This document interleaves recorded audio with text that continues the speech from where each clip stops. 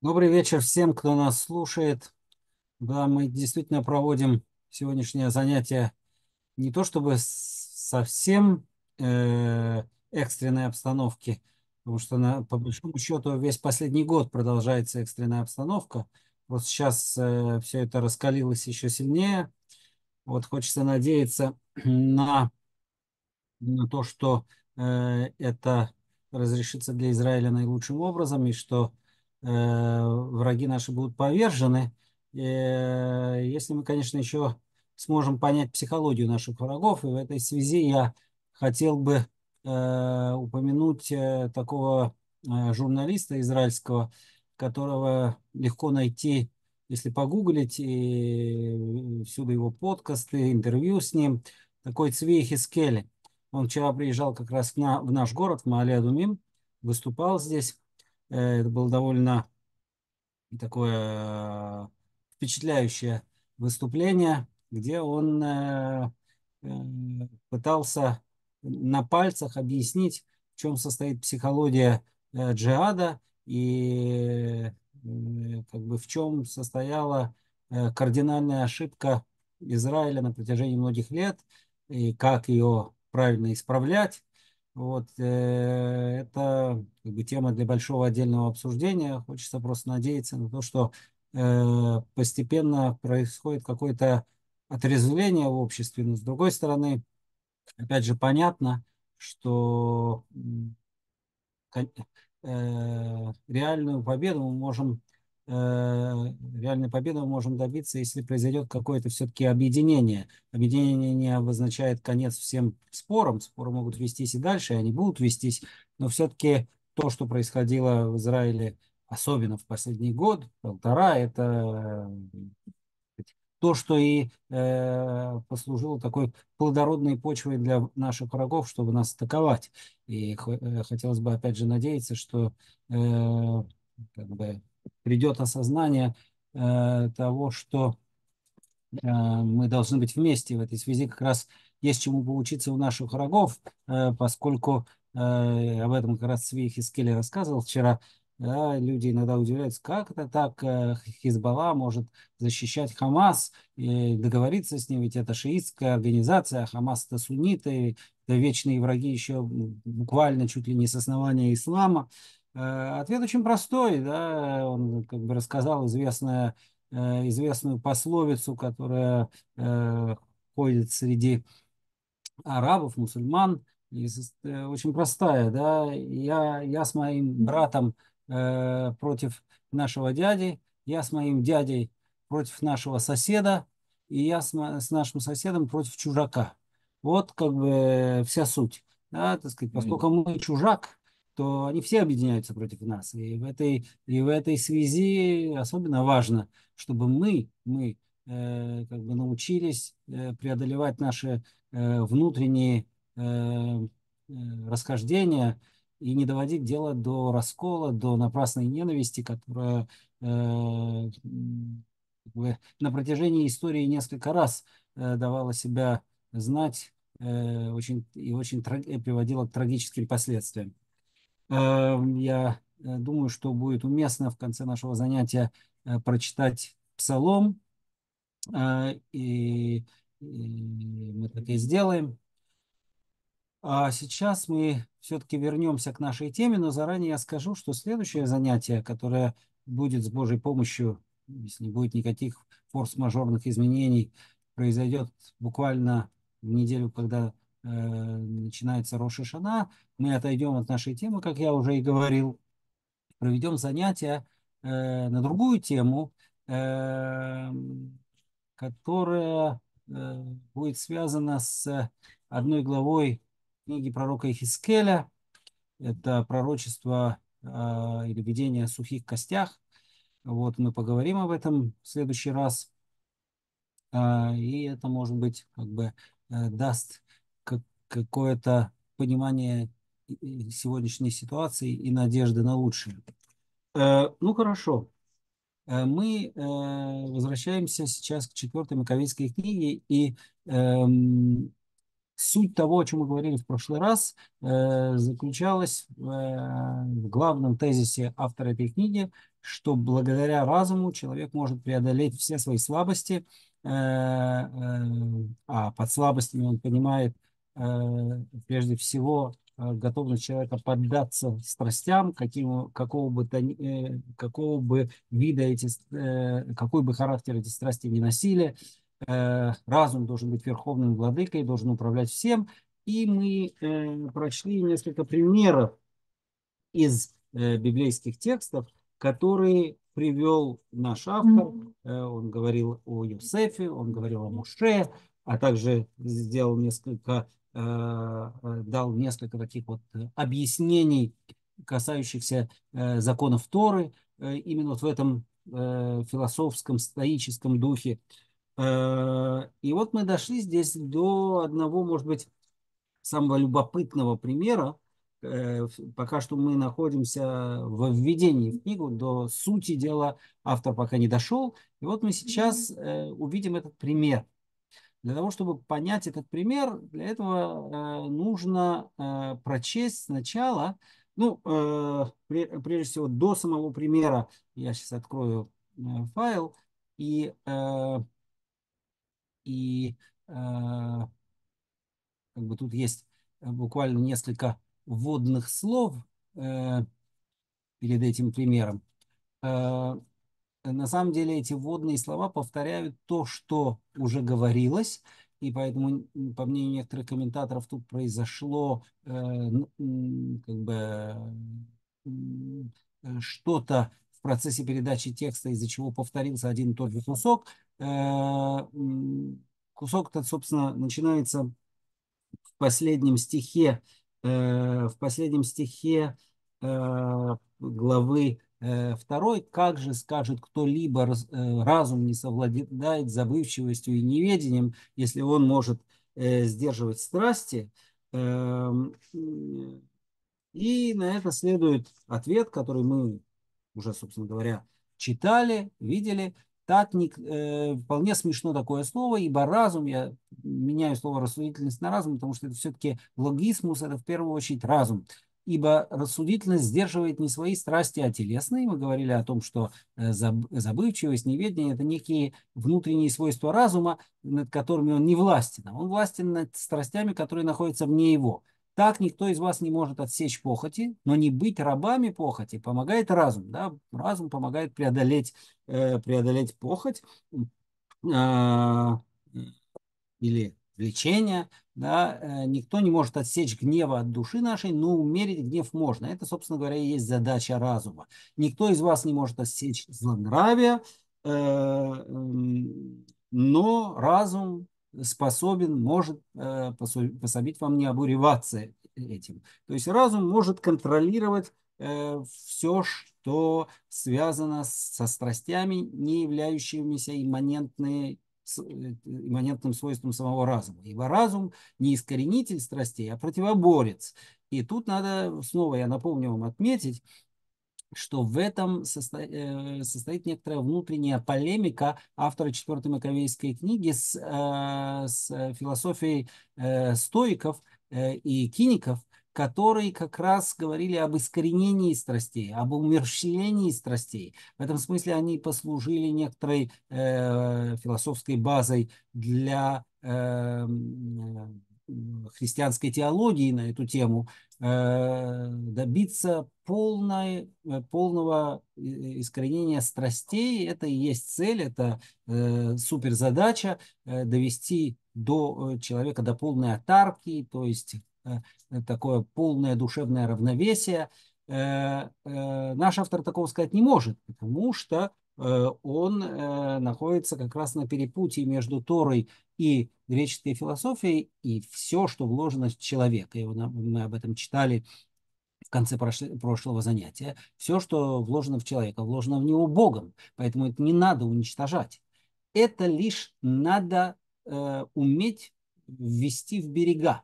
Да, я напомню еще раз э, то, что говорят мудрецы э, в трактате а вот это тоже в каком-то смысле некоторая рефлексия по поводу э, философии стоиков и киников. Э, э, Гибора ковешет ицро.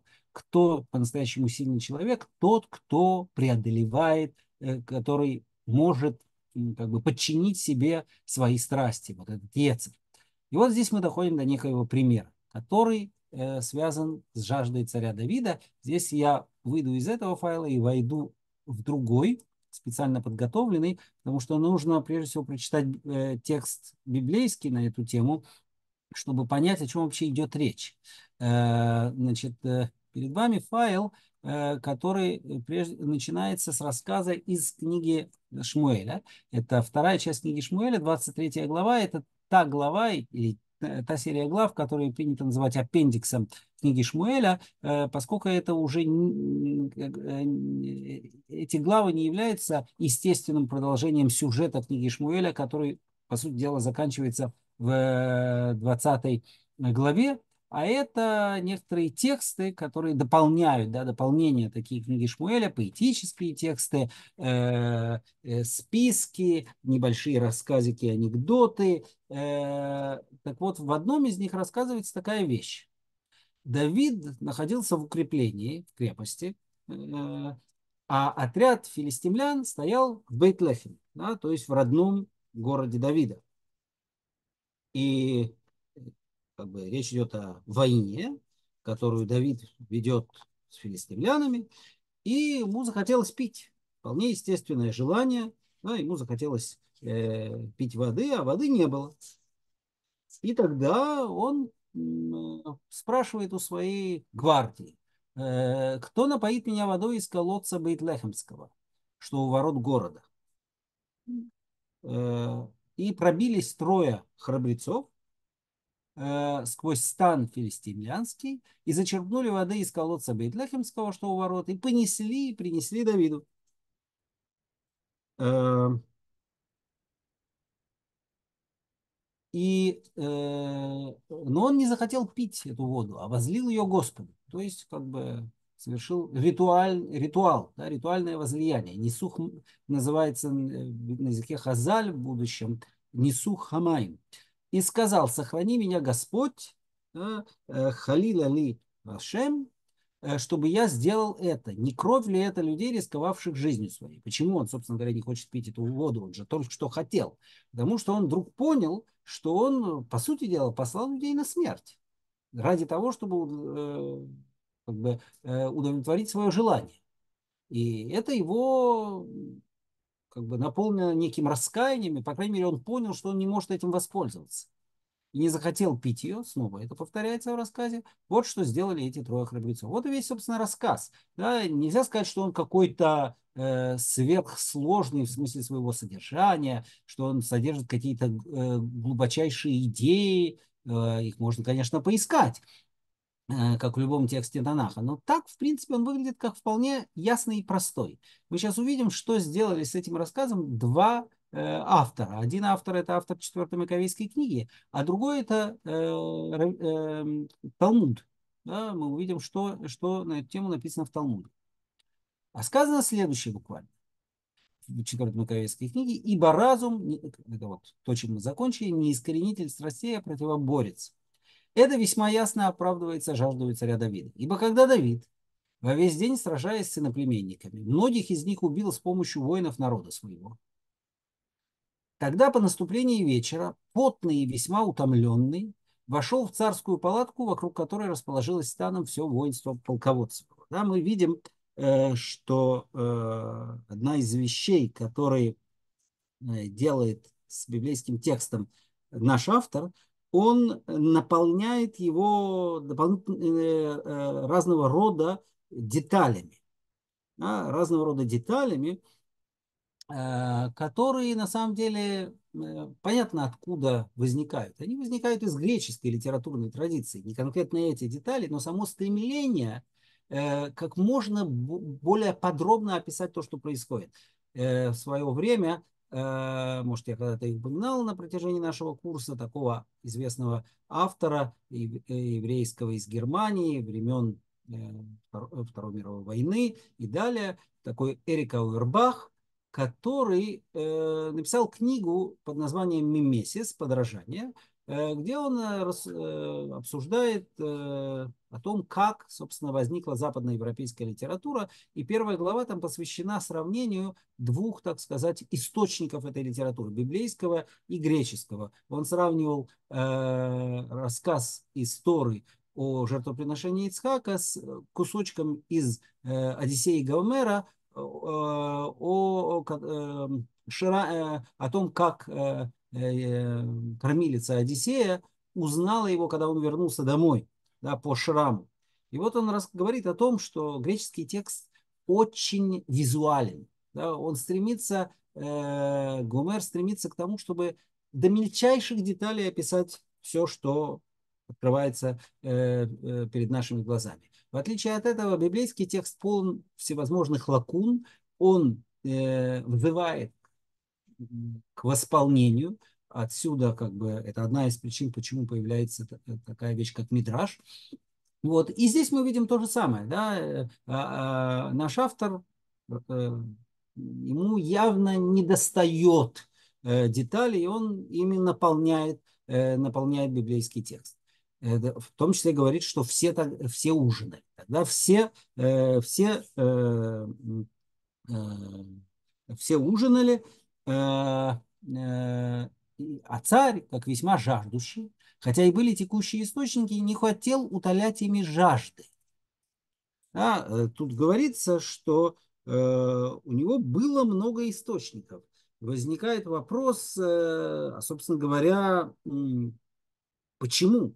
Откуда это берется, что у него было много разных источников? Из, из э, текста это совершенно не следует. Э, текст э, библейский говорит о том, что они находились недалеко от Бейтлехема, и туда, собственно, и послал Давид своих воинов, вызвавшихся принести ему воду. И понятно, почему Бейтлехем, опять же, потому что это родной город Давида. Как бы автор здесь создает некоторую ситуацию исходную, которую можно назвать ситуацией абсурда, иррациональной ситуацией. Если у тебя есть источники, чего ты э, хочешь, чтобы шли туда. Возможно, э, именно в Бейтлехе. Возможно, поэтому он и убрал как раз из библейского текста ту деталь, что речь идет именно о Бейтлехеме. Здесь этого нет, потому что Бейтлехем объясняет отчасти желание Давида. Э, э, получить воду оттуда. А он как бы хочет создать э, картину, при которой желание Давида абсолютно иррационально и абсурдно. Как он говорит, а некое неразумное желание той воды, что у врагов, усиливаясь, сжигало его и ослабевая, поджигало его. Да? То есть, ну, как бы, с одной стороны, это приводит к какому-то супер напряжению, да, э, да, а с другой стороны, а с другой стороны, э, э, он теряет, теряет власть над собой. Да, она его с одной стороны э, сжигает, а с другой стороны, как бы он, э, э, оно его расслабляет. Э, посему, когда щитоносцы жалели о таком пожелании царя, два молодые воина, силачи, уважив сие пожелание царя, вооружились всеми оружиями и, взяв сосуд, перешли в окопы неприятелей. Э, значит, э, почему он меняет двух на трех? На это, трех на двух, на этот вопрос у меня ответа нет. Да, значит, непонятно. Да? У нас нет свидетельств текста, где бы их было двое, а не трое почему-то вот произошло такое здесь изменение. Да, значит, э, мы видим, что э, э, есть в окружении царя люди, которые считают, что это желание совершенно не обосновано. Но два молодых горячих воина, которые преданы царю, решились, тем не менее, э, отправиться, и, как тут сказано, взяв сосуд, перешли э, окопы неприятелей. Да, и здесь он тоже добавляет, э, добавляет э, деталь, которой нет в первоисточнике. И смело нашедшие его, этот колодец, почерпнули из него питье царю. Он же, хотя и сгорал от жажды, э, рассудил, что весьма опасно для души это питье, признанное равносильным крови. Вот теперь э, заметьте, потому что здесь он э, как бы доходит до некоторой центральной точки, э, своей, э, э, почему Давид э, отказывается пить воду. Да, потому что это питье опасно для души. Э, то есть оно портит человека. Да, э, оно э, портит, оно как бы Давид понимает теперь, что это желание было, в общем, неугодное, неправильное. Э, э, и, э, он как бы позволил страстям овладеть своей душой. Оно равносильно пролитию крови. То есть и в библейском тексте говорится, что я, я не, не могу пить воду, потому что то, что я сделал, это практически я привел к тому, что мои люди пролили кровь свою, а погибли. Но здесь это э, как бы э, дополнительный такой акцент, что это нарушение закона. Закон Торы, это, э, как мы уже обсуждали, в глазах автора 4 Маковейской книги э, призван э, усовершенствовать душу. Нарушение этого закона э, приводит к порче души. И э, в данном случае то, что совершает Давид, это практически убийство. И поэтому этого допустить ни в коем случае нельзя. Посему, противопоставив этому желанию разум, да, э, он совершил этим, э, э, он совершил, э, вылил это питье как жертву Бога, совершил возлияние. Ибо силен, как я сказал, трезвый разум, побежда, э, он может победить страсти, победить принуждение страстей, э, погасить пламя стремлений, преодолеть телесные страдания, телесные муки, самые неодолимые, самые тяжкие, и благочестивой рассудительностью или благочестивостью разума э, э, отринуть все нападения страстей. В чем-то это похоже на опять же, на то, как мудрецы Талмуда описывают поведение, э, э, поведение Ецера. Да? Ецер – это как некая э, персона, который ищет как бы привести к падению человека. Да? Он нападает, поджидает. Есть мидраж, который использует для этого известную известный стих из э, третьей главы книги Берешит, из, истории, из четвертой главы книги Берешит, из истории Каина и Эвеля, «Ла, ла, фетах, ла петах хатаат рувец», да, у входа лежит, не очень понятно, что лежит, но он понимает это как устремление к греху. Да, вот э, устремление к греху, э, э, говорят мудрецы, оно как бы э, грех подстерегает, Ецер подстерегает человека с тем, чтобы его уловить. Вот так и здесь. Э, при этом можно заметить, это очень трудно заметить в э, библейском рассказе, но здесь можно заметить вещь, о которой автор не говорит, но вполне возможно намекает, что то, что делает здесь Давид, это ровно противоположно тому, что он в свое время сделал э, в истории с Батшевой, Версавией и ее мужем Урией, где он пошел на поводу своих страстей и Э, совершил прелюбодеяние, да, взял чужую жену, э, а потом послал на смерть э, ее мужа с тем, чтобы покрыть свой грех, и привел к убийству этого человека, вызвав гнев Божий на него самого и э, очень тяжелое наказание. И поэтому э, как бы э, наш автор не говорит здесь какова хронология этих событий, что, что чему предшествовало. Но, возможно, он, намекая на историю Давида с Батшевой, хочет сказать, что здесь Давид как бы преодолел самого себя и тем самым как бы не то чтобы искупил свой грех, но, по крайней мере, э, достиг э, того необходимого совершенства, которое, которое было столь далеко от него э, в истории с э, Батшевой и э, Урией. Да, если подытожить таким образом э, этот пример, да, это как бы некоторое не, ну, не совсем аллегорическое объяснение истории. Это не аллегория, конечно, но это как бы некоторое э, философское э, объяснение. Э, как бы он, по сути дела, взял ну, своего рода такой маленький рассказ, едва ли не анекдот, который рассказывается в книге Шмуэля, превратил его в программный текст, да, в котором проявляются лучшие стороны э, натуры Давида. А что такое лучшая сторона натуры Давида? Это разум, который побеждает страсти. Так э, этот рассказ читает автор четвертой Маковейской книги. Любопытно, как этот рассказ э, прочтен э, в раввинистической литературе. Э, э, я привел этот текст здесь. Это э, текст из Вавилонского Талмуда, э, трактат Баба Кама из Седер Назиким, это самый первый трактат в этом, в этом Седере, э, в, э, в этой части Талмуда. И вот что, э, вот что там говорится. Вот что там говорится.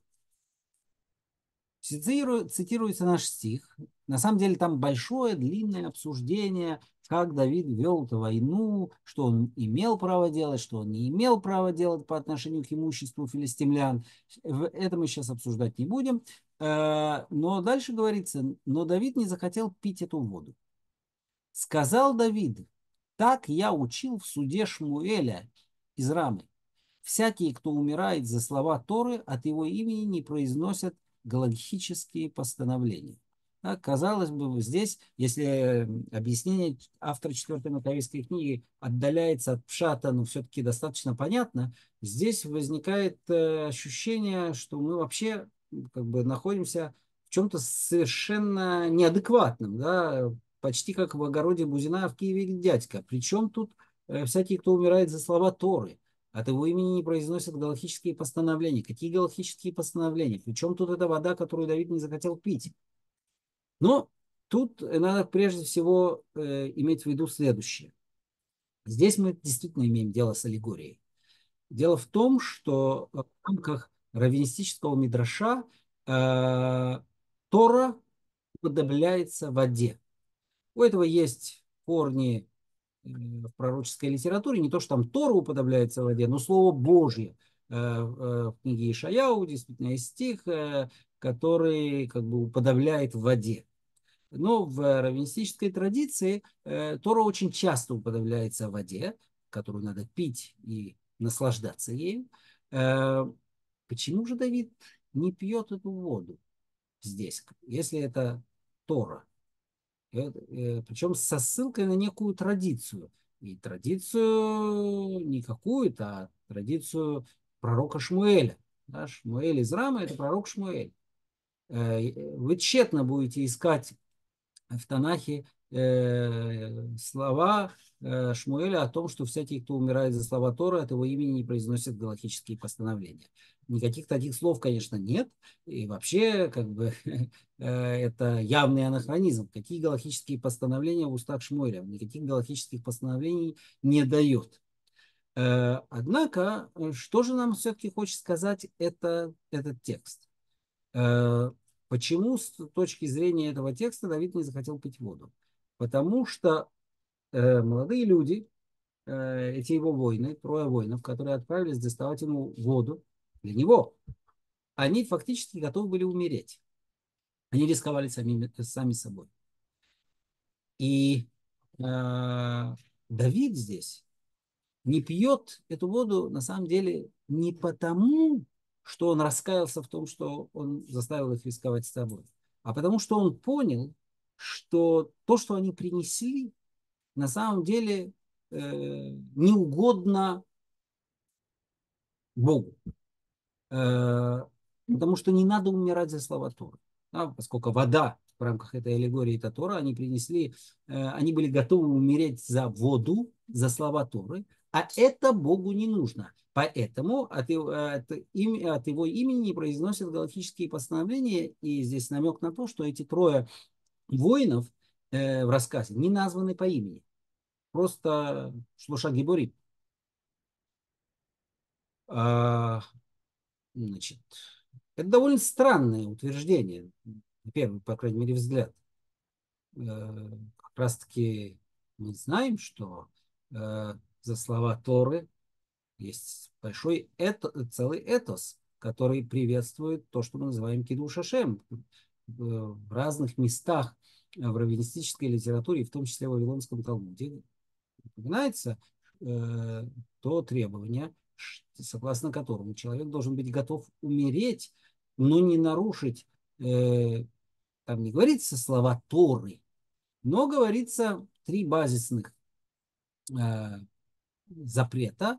Это служение другим богам, это убийство другого человека невинного, и это, ну, так сказать, в общей форме можно сказать, сексуальные, нарушение сексуальных запретов.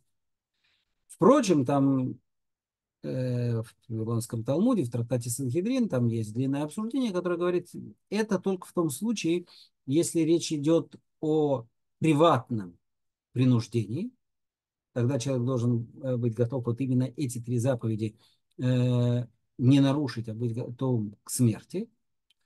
А, а если это не приватно, а публично делается, тогда он должен быть готов принять смерть за любой закон Торы.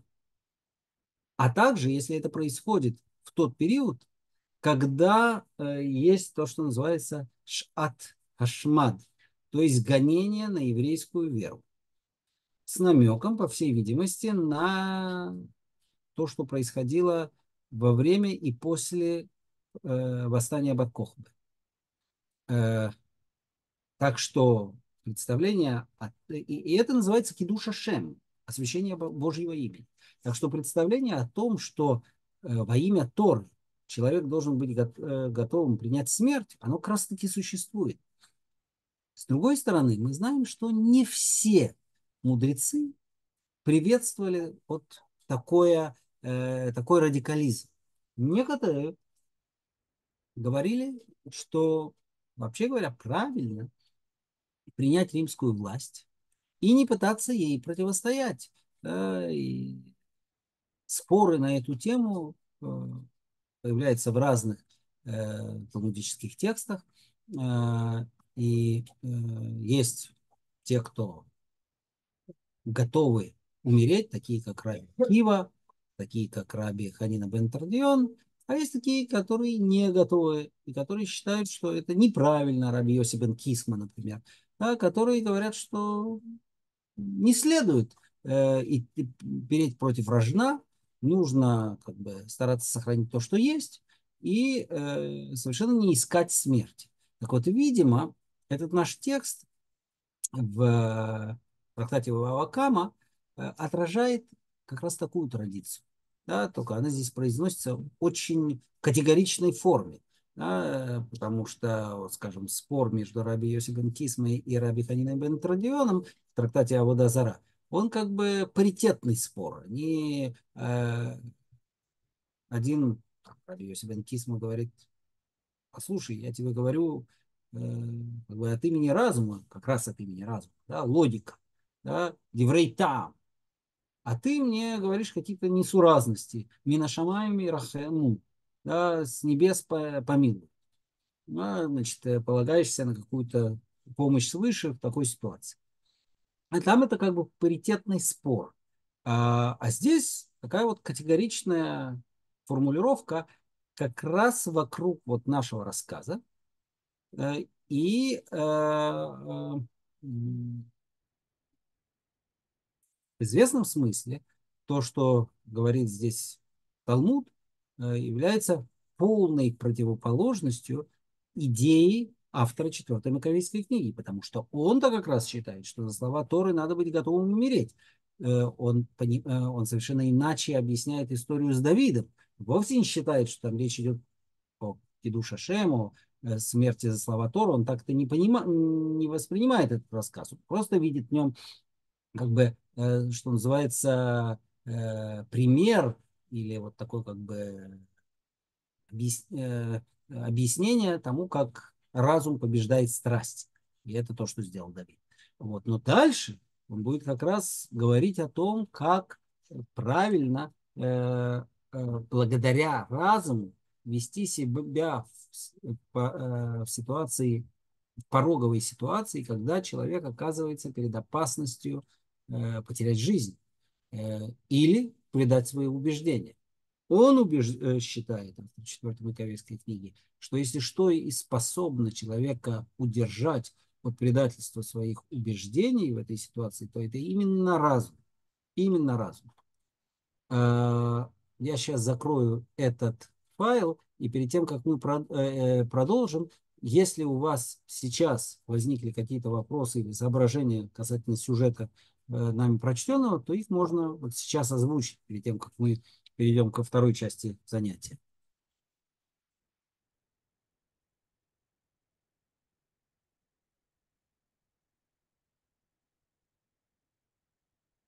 Пока э, вопросов не, воз, не возникло, замечаний, соображений, тогда мы, э, если возникнет, прервите меня. Значит, я возвращаюсь к исходному э, нашему файлу, который э, мы закончили, собственно говоря, чтение введения в книгу. Да, он э, представил тезис, привел соответствующие примеры, и теперь, теперь э, он как бы э, начинает основную часть своего трактата. Он говорит, время призывает нас доказать это умозрение, а Э, это, этот тезис, это э, рассказать о целомудренном, то есть добродетельном разуме, добродетельном разуме. Э, и, соответственно, отсюда он переходит к тому времени, которое как бы, для него является главным примером, то есть времени э, антиоховых гонений.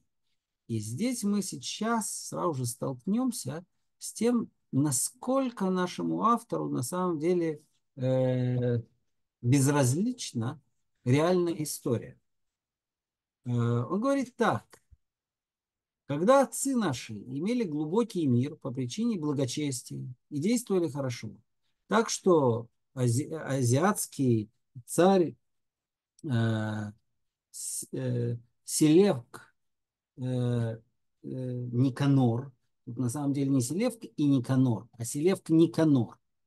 Э, не только уделил им средства на священнослужение, но и признал их гражданское общежительство, да, как бы так правильнее перевести это.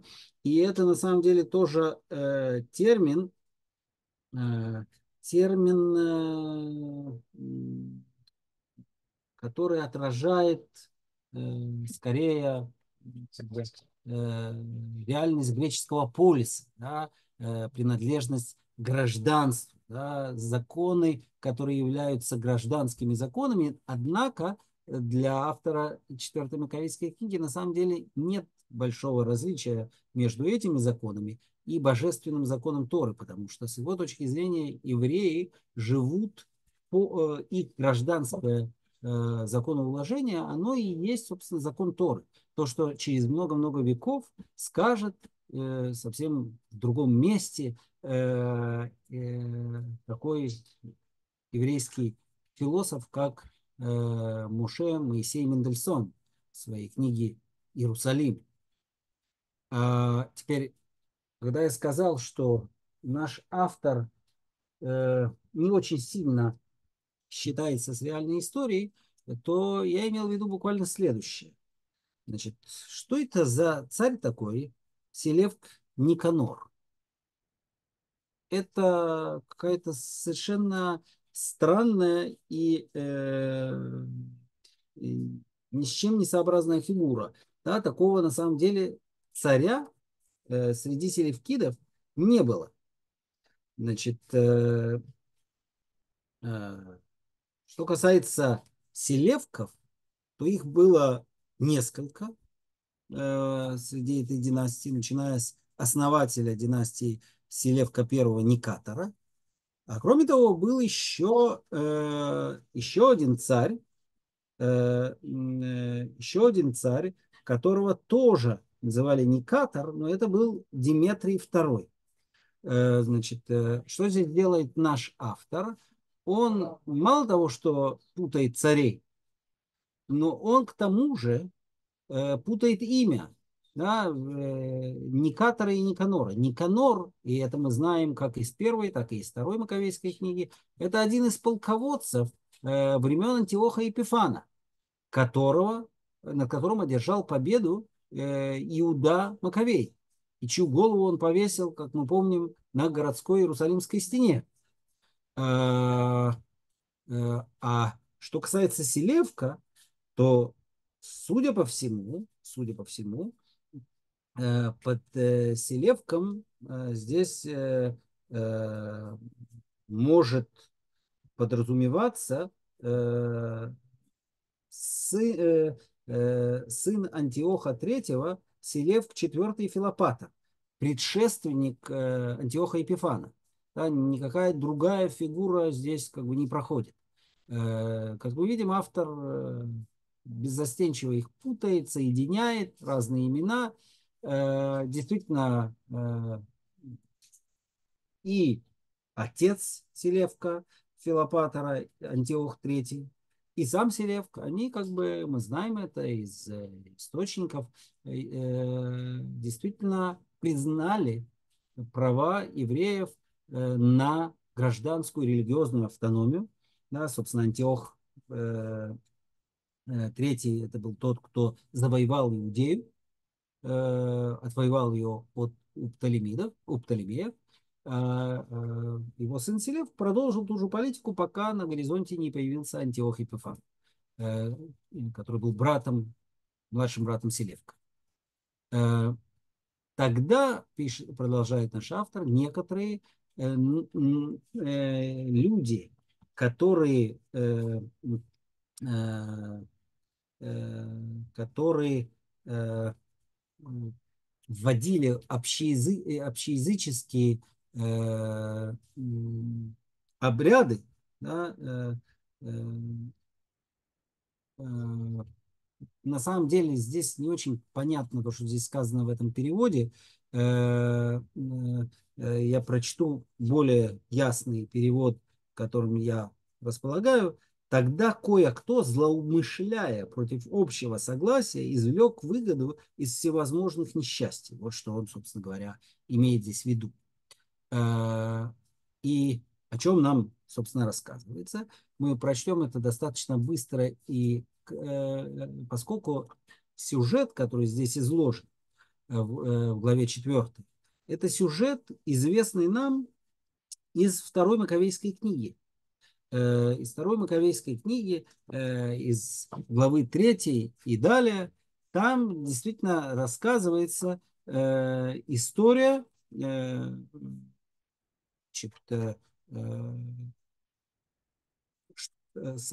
что произошло как раз в конце правления Селевка.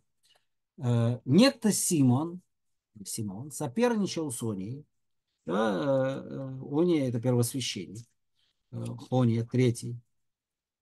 Э, он, согласно, согласно Второй Маковейской книге, он был этот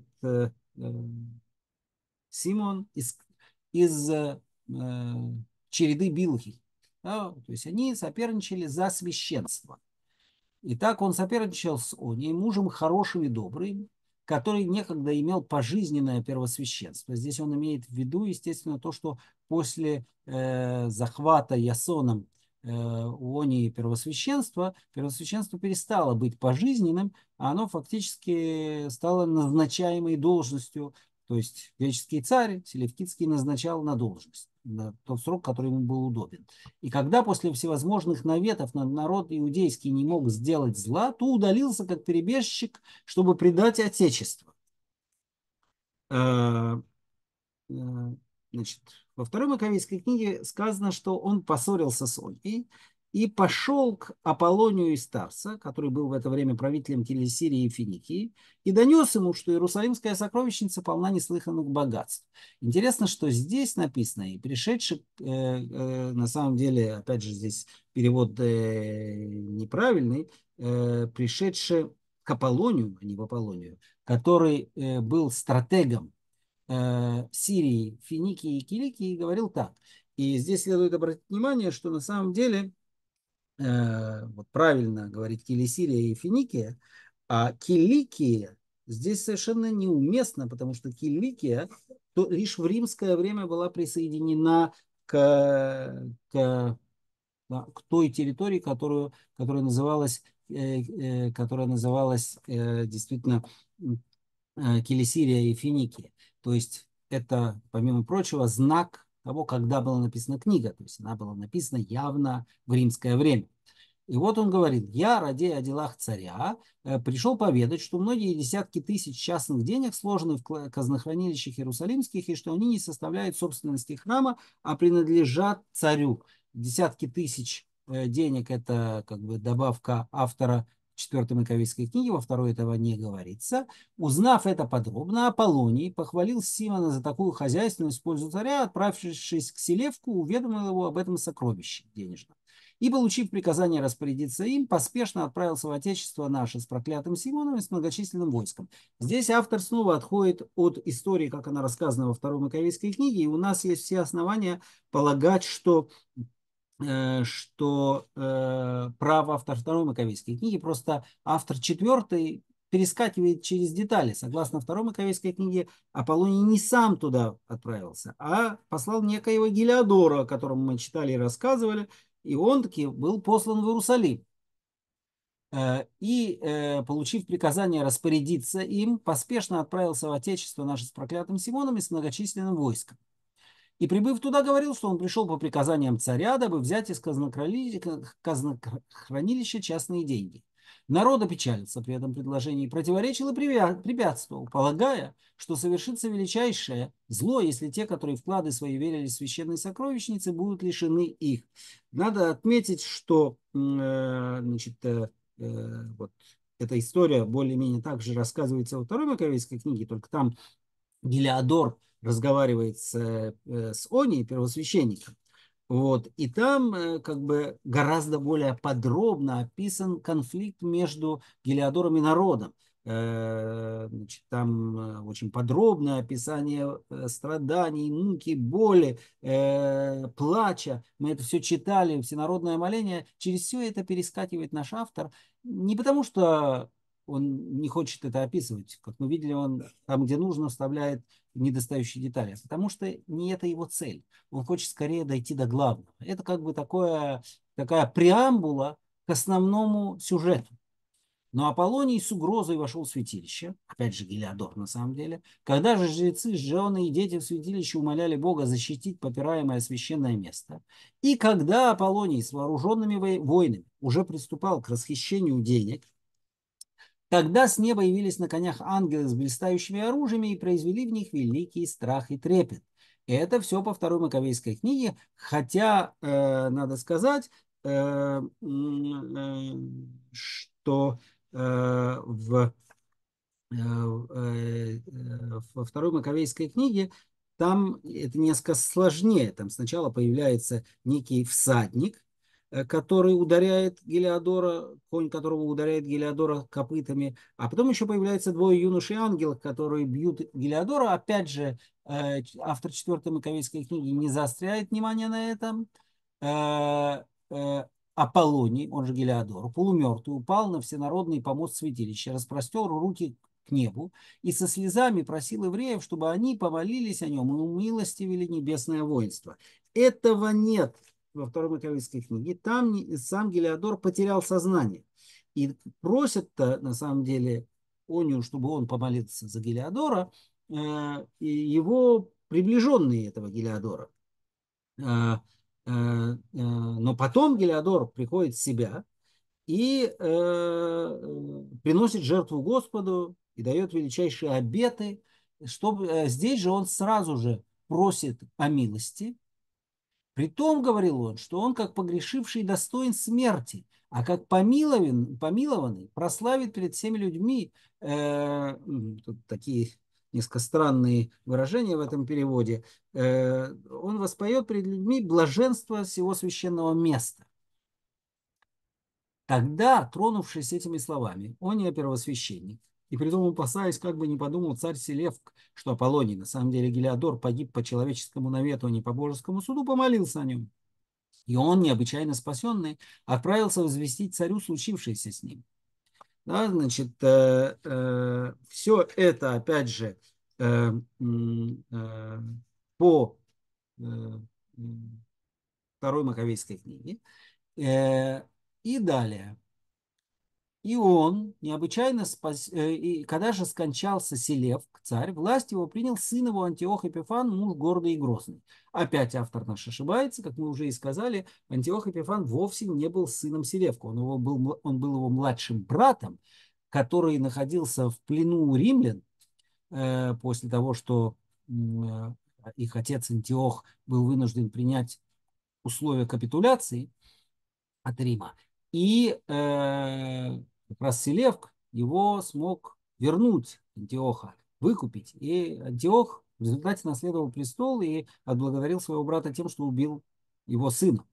Э, э, надо сказать, что во второй Маковейской книге тоже не жалеют, э, не жалеют как бы, пера, чтобы всячески представить Антиоха как исчадие ада, но это не происходит с первого же предложения. Да, там, э, там сказано, когда скончался Селев, царство перешло к Антиоху по прозванию Епифан. Здесь он сразу же определяет его как, э, э как человека э, заносчивого и грозного, да, гордого и грозного, э, обладающего, заметьте, чертами, которые противоречат власти разума. Это как раз человек, обуреваемый страстями. Он, отрешив Онию от первосвященства, поставил с первосвященником брата его Ясона, э, что вполне совпадает с второй Маковейской книги, только там это рассказывается более подробно, как Ясон заплатил за это дело взятку. Э, при, при этом э, тут тоже говорится про деньги, но деньги эти здесь, в четвертой Маковейской книге, Э, э, доходит до каких-то совершенно фантастических пределов. Во второй Маковейской сказано, что Ясон э, обещал царю платить 360 талантов серебра и 80 талантов с некоторых других доходов. Здесь речь идет о ежегодной выплате какой-то фантастической суммы. 3660 талантов да, значит, э, сумма совершенно по тем временам не бывала. Но опять же, наш автор вовсе не стремится к каким-то э, реаль, э, реальным историческим деталям. Он же поручил ему не только первосвященство, но и управление народом. А сей переобразил народ иудейский и приучил его ко всякому беззаконию. То есть э, ввел какие-то э, э, греческие обычаи. Э, так что не только построил гимназион у самой Акры, этой родины нашей, но и прекратил попечение о святилище.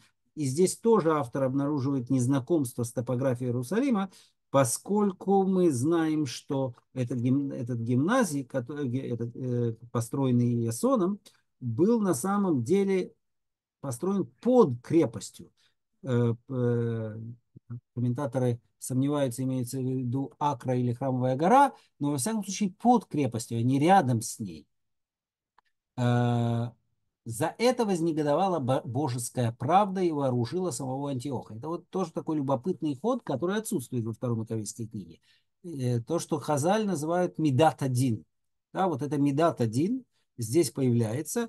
Э, ну, она называется здесь, опять же, как бы э, таким э, э, э, греческим термином э, божественная или божеская правда, э, э, те дике. Значит, ну, в общем, это действительно как бы дин, мишпат, да, и говорится о том, что как бы желание Антиоха разграбить Иерусалим и преследовать евреев, это было наказанием евреям за э, отход от э, э закона, от, э, э, э, от Торы. Да? Автор второй Маковейской книги так прямо это не формулирует. А здесь это так сформулировано. Ибо когда он в Египте воевал с Птолемеем и услышал, что иерусалимляне весьма радовались по случаю раздавшейся молвы о смерти его, поспешно пошел на них, а это рассказывается и во второй Маковейской книге, э, значит, э, э, это 168 примерно год до новой эры это происходит и, разорив их, издал повеление умерщвлять тех, которые между ними оказались бы живущими по отечественному закону. Но когда никоим образом не смог повелениями своими ослабить благочестие народа, напротив увидел, что его все угрозы и приказания тщетны. Да, э, э, э, то есть народ, э, как бы здесь как раз подчеркивается, что народ, э, тут как бы есть некоторое противоречие в самом, э, в самом описании а, автора книги. С одной стороны, э, значит, как бы э, божественная правда вознегодовала на то, что как бы начинают распространяться языческие обычаи. А с другой стороны, он говорит о том, что Антиох Эпифан не смог своими повелениями осплавить благочестие народа. Во второй Маковейской книге это более ясно, здесь нет, потому что во второй Маковейской книге делается четкое разделение между эллинистами и их противниками. Э, а здесь это как бы немножко затуманено, и причина того станет яснее дальше. Так что и женщины за обрезание детей были повешены вместе с младенцами, предвидевшие, что они потерпят это. Когда таким образом повеления его были презираемы народом, тогда он мучениями принуждал каждого из народа поодиночке отрекаться от иудейства по вкушении оскверненных снедей. Вот здесь мы, наконец, дошли до сути дела. Да, значит, э, э, как мы увидим, в центре нашего дискурса будет попытка э, заставить Антиоха съесть запрещенную пищу, которая э, пробуждает чувство голода и страсть к этой пище, да, запретный плод сладок, и как разум будет этому противостоять. Да, здесь мы поставим точку, да, значит, дочитав до конца четвертой главы, закончив это вступление, которое в, во второй Маковейской книге занимает несколько глав. Здесь это всего-навсего одна небольшая глава, э, и автор э, приходит к центральному сюжету, к противостоянию Антиоха и мучеников. Мучеников. Да? Э, и об этом, собственно говоря, речь и пойдет после того, что мы возвратимся к сюжету после Рош Ашана. Э, есть ли у вас вопросы, замечания перед тем, как мы будем подходить к завершению нашего сегодняшнего рассказа.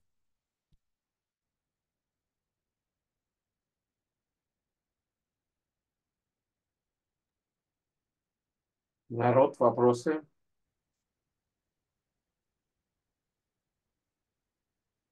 Я думаю, что народ поражен и думает.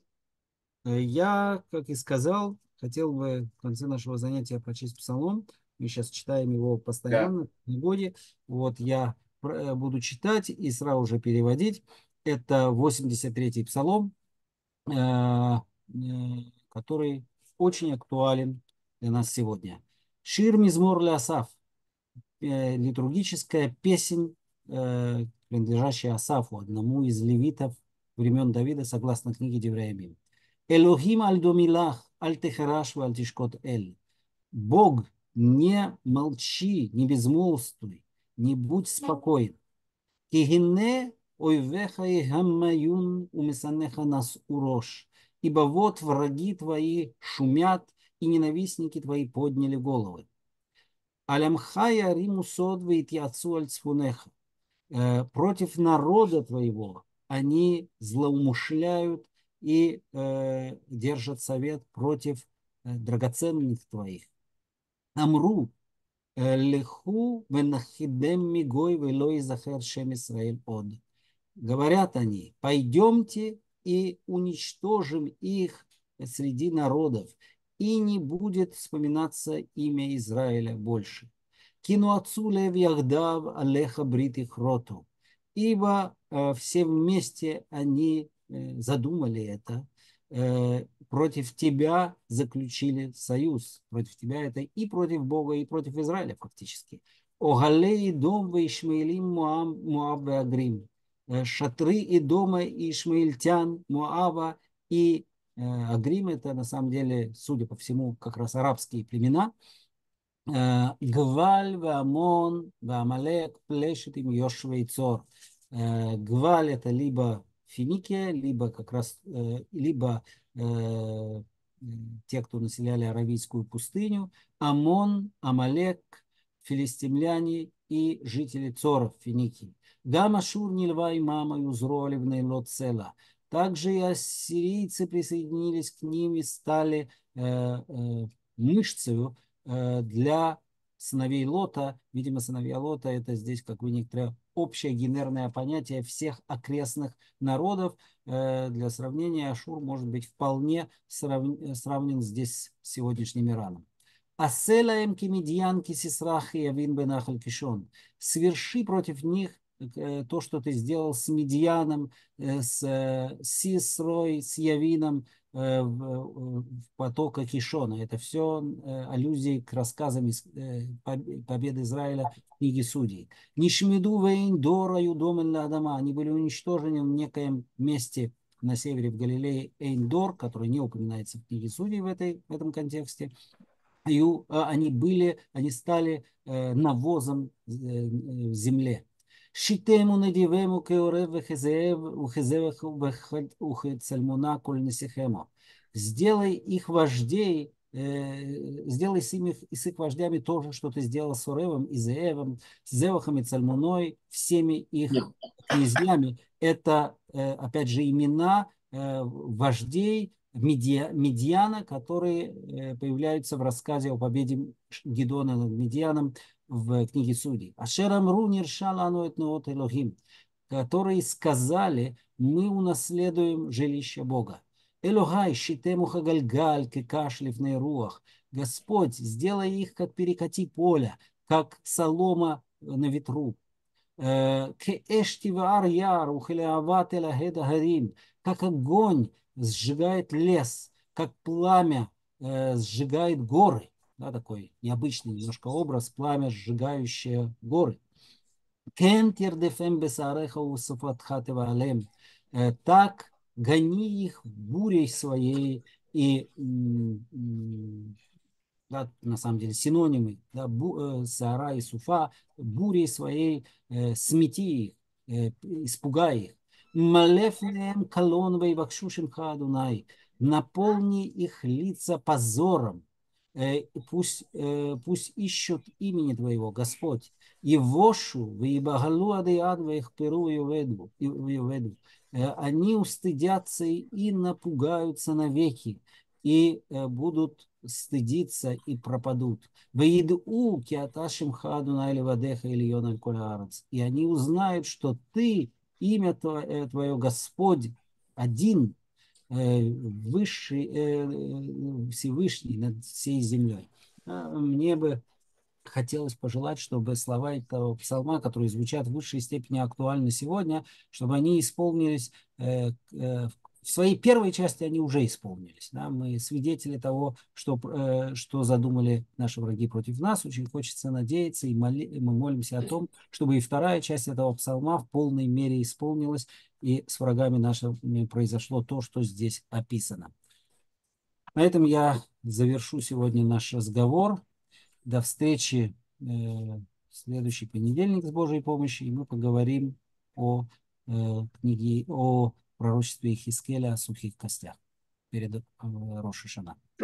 Амен, Села. Сурот вот. Всем спасибо большое. Следите за Вот.